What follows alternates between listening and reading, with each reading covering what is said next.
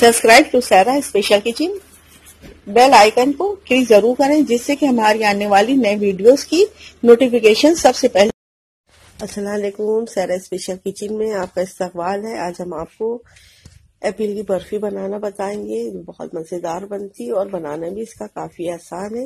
तो चलिए शुरुआत करते हैं। देखिए, इसके लिए हमने दो एप्पल ले लिए, इनको हमने खूब कैसे से धो लिया है और पोछ लिया ये ड्राई फ्रूट्स हमने कुछ लिए हैं, जिसमें काजू, बादाम, किशमिश जो पिस्ते हैं। इनको भी हमने महीन में काफ़ी काट लिया है। आप जो भी चाहे ड्राई फ्रूट इसमें डाल सकते हैं। ये हमने काजू और बादाम लिए हैं, जिनको कि हमने मिक्सर में मोटा मोटा पीस लिया है। हमने करीब पंद्रह सोलह काजू लिए हैं और बीस बाईस बादाम लिए हैं।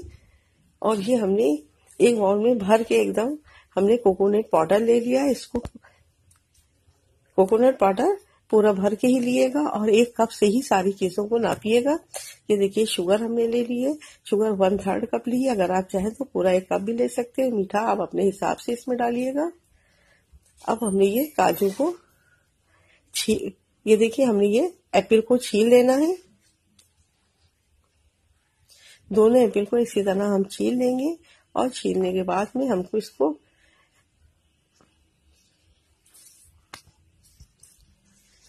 इधर हमने ये देखिए, एक टेबल स्पून देसी घी ले लिया भर के। इसको हमें गरम करना है। जब तक इधर घी गरम होगा, उस इतनी देर में हम ये देखिए, इसको ग्रेट कर लेंगे। दोनों एप्पल को हमें ग्रेट कर लेना। और महीन ग्रेटर की तरफ़ से ही इसे हमें ग्रेट करना है। मोटे की तरफ़ से बिल्कुल भी नहीं करना है। और ऐसे इसको ग्रेट करें कि इसके बीच हमें हटा देना है और बीच का जो पार्ट है उसको भी हटाना है। इसी तरह ये देखिए हम दूसरा अलग भी कर लेंगे। और इसको हमें जिस टाइम बर्फ़ी बनाना हो, उसी टाइम ग्रेट करना है। इससे पहले करने से ये एकदम लाल पड़ जाते हैं, इस मारे बिल्कुल। उसी टाइम आप इसको कद्दूकस करिए, जिस टाइम आपको बर्फ़ी बनाना है। ये बर्फ़ी काफ़ी आसानी से बनती है। इसके लिए हमें मिल्क पाउडर या चाशनी, कोई चीज़ की भी ज़रूरत नहीं होती है। और बहुत बढ़िया ये बिना इन सब चीज़ों के बहुत मज़ेदार बन जाती है। देखिए, घर घी गर्म हो चुका है। अब इसके अंदर हमने ये सेब जो कि ग्रेट किए थे, इनको हमने इसके अंदर डाल देना है। और डालने के बाद इसको हमें खूब कैदे से भून लेना है कि इसने अगर थोड़ा सा भी पानी छोड़ा तो वो एकदम पूरा भून जाए। ये देखिए, इसको हमने खूब चला लिया है। अब इसका पानी बिल्कुल ही एकदम जो इसके अंदर पानी थोड़ा बहुत था, वो भी एकदम खत्म हो गया है।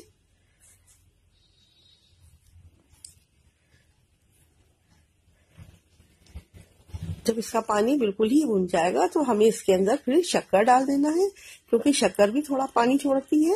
तो इस माने देखिए, इसका पानी खत्म हो गया, ये अब हमने इसके अंदर शक्कर डाल दी है। शक्कर ज़रूर आप देख लीजिएगा, अगर आपको कम लगे तो थोड़ी बहुत आप और भी इसमें बढ़ा सकते हैं। और शक्कर डालने के बाद हम इसको चला लेंगे जिसमें शक्कर जो है। उसको जितना भी पानी छोड़ना वो जल्दी से जल्दी अपना पानी ये देखिए जितना भी पानी छोड़ेगी सब हम उसे भून लेंगे। अगर आपने हमारे चैनल को अभी तक सब्सक्राइब नहीं किया तो ज़रूर करिए और कमेंट्स में बताइए कि आपको ये हलवा कैसा लगा। और बे, बेल आइकन को क्लिक ज़रूर करिएगा जिससे कि आने वाली हर नए वीडियोस की नोटिफिकेशन सबसे पहले आप ही को मिले। ये देखिए। अब ये देखिए, शक्कर का भी पानी खत्म होने लगा। तो अब इसके अंदर ये आलमंड और काजू जो कि हमने पीसे थे मोटे मोटे इसको भी हम इसमें डाल देंगे। अगर आप चाहें इसकी जगह तो आप भुनी हुई मूंगफली, इसके ऊपर का रेड छिलका हटा के उसको भी मोटा मोटा पीस के इसमें डालिए तो भी ये बहुत टेस्टी लगते हैं। कोई कमी इसमें नहीं आती है। इसको भी डाल के हमको खूब कैदे से मिक्स कर लेना है।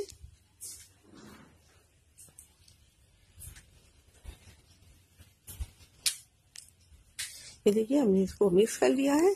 अब इसी के अंदर हमने ये कोकोनट का पाउडर या कोकोनट का पूरा जो भी कहे, इसको डाल दें। ये आपको बहुत ही इसलिए किराने में किराने में मिल जाता है।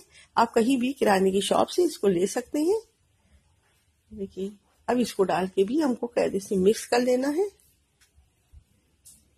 इसको डालने से इसका टेस्ट भी बढ़ जाता है और बर्फ़ी जमाने में भी काफ़ी आसानी होती है।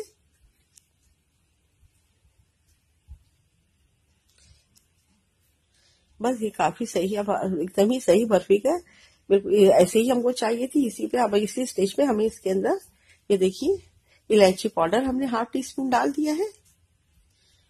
और उसको इधर जो ट्रे में हमको इसको जमाना है या प्लेट में जिसमें भी आप जमाना है, उसको ग्रीस कर लिए। देखिए, हमने घी को गर्म करके और उसको ब्रश की मदद से इसे देखिए, ट्रे में हमने लगा दिया है।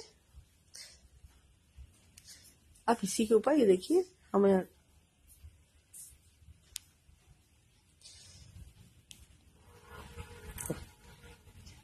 इस मिक्सचर हमको इसी के अंदर पूरा निकाल लेना है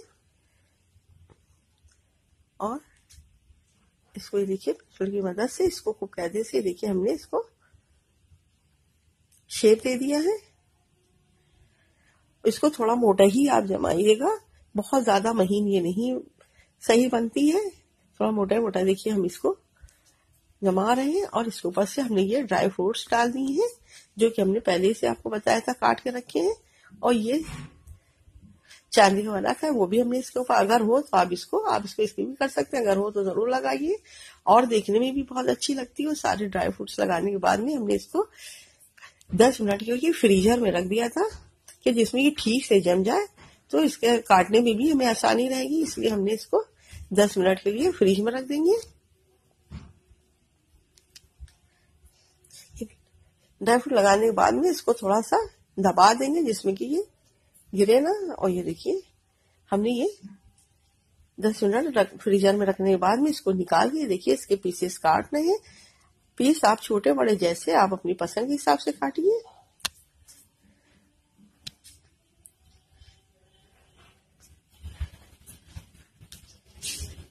अगर पीस आपको निकालने में थोड़ी परेशानी है तो आप कहीं भी गर्म चीज़ पे दो, एक मिनट के इसको जरा सा दिखा दिए इसको ट्रे में, और उसके बाद पीस काटे तो बहुत आसानी से, क्योंकि फ्रीजर में रखने से थोड़ा सा घी जम जाता है तो बहुत ही आसानी से पीसेस निकल आएँगे।